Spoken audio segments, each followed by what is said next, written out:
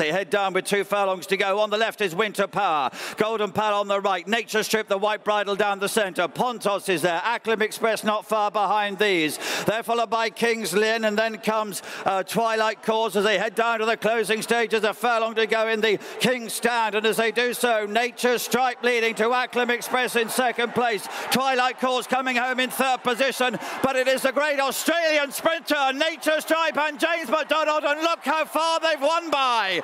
Second will go to Twilight Calls to Acklam Express, Mooneista behind those, and then came Equilateral and King's Lynn, and behind this was Lajulai, a man of promise.